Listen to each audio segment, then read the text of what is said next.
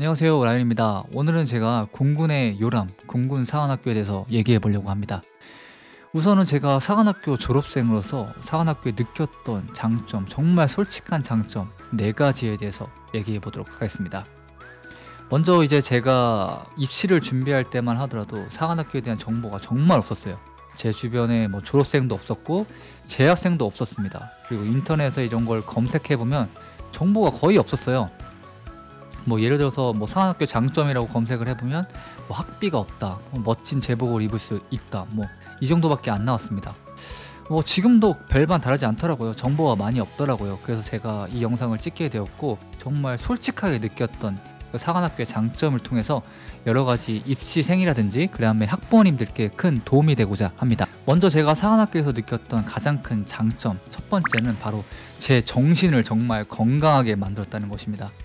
제가 돌이켜 생각해보면 제가 중고등학교 시절에 정말 성격이 좀 부정적이고 냉소적인 경향이 있었습니다. 그래서 제가 하기 싫은 일이라든지 아니면은 정말 재미없는 일에 대해서는 정말 1도 제가 흥미를 갖지 않았어요. 열심히 하지도 않았고 그리고 부모님 말씀도 안 들었고 그리고 선생님 말씀도 잘 듣지 않는 그런 학생이었습니다.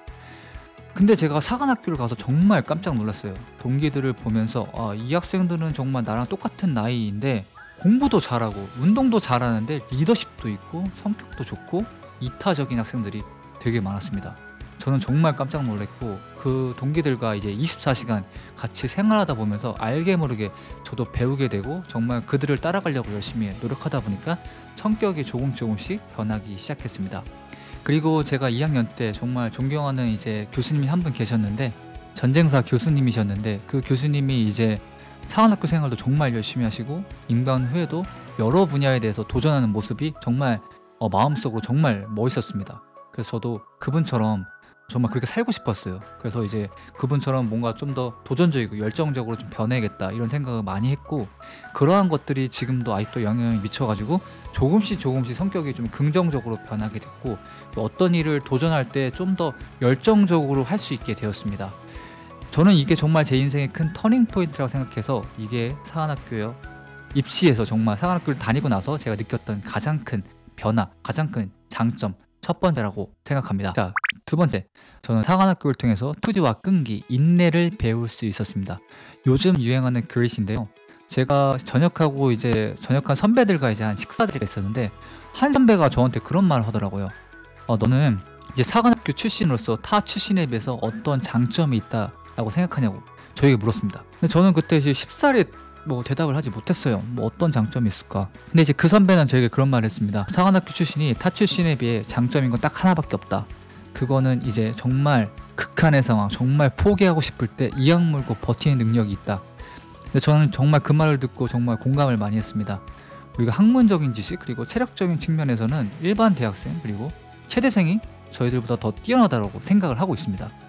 하지만 그 끈기나 인내는 정말 극한의 상황들을 많이 겪었기 때문에 거기서 길러진 grit은 아직도 제 마음속 뿌리 깊게 자리 잡고 있다고 생각하고 있습니다. 실제로 grit 저자 엔젤라 씨는 웨스트 포인트 미국의 육사죠. 미 육사 생도를 조사했는데 그 육사 생도들이 다른 이제 명문대 학생들에 비해서 뭐 재능의 월등히 뛰어나다든지 뭐 이런 거는 아니라고 했습니다. 그들이 갖고 있는 장점은 바로 이 투지, 포기하지 않는 힘이 남들보다 더 강하다는 것입니다. 저는 이 말에 대해서 되게 공감을 많이 했거든요. 그런 여러 가지 훈련을 거치다 보니까 마음속으로 포기하지 않는 힘, 그릿이 우리에게 생겼습니다. 저는 그게 정말 인생을 살아가면서 많은 것을 도전할 때 그게 정말 중요한 역할을 했습니다. 그래서 저는 이게 제가 생각하는 사관학교 두 번째 장점이라고 생각합니다. 다음 세 번째로는 저는 사관학교를 통해서 독립심 그리고 어, 자립심을 기를 수 있었습니다. 이게 무슨 말이냐고 하면은 저는 이제 사관학교 가기 전까지 제 스스로 뭔가를 해본 적이 없었습니다. 뭐 예를 들어서 저는 뭐 빨래도 해본 적이 없고요. 그리고 뭐 설거지도 해본 적이 없고 방 청소도 심지어 많이 하지 않았습니다. 그랬던 제가 이제 가입교 첫날에 바느질을 했어야 했습니다. 전투복에 명찰을 이렇게 막 달았는데 그거는 이제 기술 과정에 하는 수행 평가가 아니었습니다. 이거는 일종의 생존과 관련된 일이었기 때문에 엄청나게 열심히 했던 기억이 납니다. 가입교를 끝나고 이제 입교를 해서도 다림질도 제가 스스로 했어야 됐고 구두도 열심히 닦았어야 됐습니다. 어, 이러한 것들을 제가 한 번도 해본 적이 없었던 것들인데 실제로 제가 해봄으로써 자립심과 동의심 그리고 뭔가를 스스로 하는 힘이 많이 길렀습니다. 이러한 것들이 인간 후에 사회생활에 나와서 정말 저한테 큰 도움이 됐고요. 그래서 제가 생각하는 사관학교의 세 번째 장점으로는 이런 자립심과 독립심을 배울 수 있었다는 것입니다. 네, 네 번째로는 어, 사관학교를 통해서 건강한 몸을 만들 수 있었습니다. 돌이켜 생각해보면 저는 사관학교 가기 전까지 정말 외모에 대한 자존감이 낮은 학생이었습니다. 어, 체력도 약했고요. 몸매도 되게 볼품 없었습니다. 샤워를 할 때 제 몸을 보고 만족한 적이 없었습니다. 그랬던 제가 사관학교로 가가지고 여러 훈련을 겪고 그리고 여러 가지 체육 활동, 웨이트도 실제로 배우고요. 수영도 하고 그리고 또 구기도 배우고 또 유도, 검도, 태권도도 배우거든요. 이런 것들을 통해서 어, 몸이 점차 좀 좋아지고 살도 빠지고 근육이 생기게 되었습니다. 그러다 보니까 되게 재밌죠. 그래서 되게 열심히 하게 되었고 그 결과 하루도 안 빠지고 거의 4학년 때까지 매일 웨이트 트레이닝을 했습니다. 정말 열심히 했거든요. 제 동기들은 정말 이거 알 거예요. 그러니까 정말 열심히 한 결과 4학년 때 이제 미스터 공사라고 해가지고 상한학교 때 이제 교내 보디빌딩 대회가 있는데 거기서 제가 대상을 타게 됐습니다. 그때 사진이 이렇게 이렇게 나오는데요. 저는 이런 걸 통해서 좀 많은 걸 느꼈습니다. 열심히 노력을 하게 되면 나도 변할 수 있구나라는 걸 느꼈고요. 한참 이제 외모에 민감한 20대 초반이잖아요. 그때까지만 해도 저를 사랑하는 능력이 되게 없었던 것 같은데 그런 외모가 변함에 따라서 좀 더 저를 사랑하게 좀 됐던 것 같아요. 약간 오글거리긴 하는데 하여튼 그런 변화를 가져왔습니다. 그래서 제가 생각하는 이제 사관학교 네 번째 장점으로는 제 몸이 되게 건강해졌다는 것입니다. 네, 이렇게 제가 사관학교를 이제 졸업하면서 그리고 느꼈던 정말 솔직한 점 네 가지 측면에 대해서 얘기를 해봤습니다. 돌이켜 생각해보면 사관학교 생활은 제 인생에서 정말 보석같이 빛나는 반짝반짝 빛나는 제 기억으로 남아 있습니다. 많은 분들이 그런 질문을 합니다. 사관학교 입시를 후회하지 않느냐고. 근데 저는 정말 누구한테도 후회하지 않는다고 했거든요.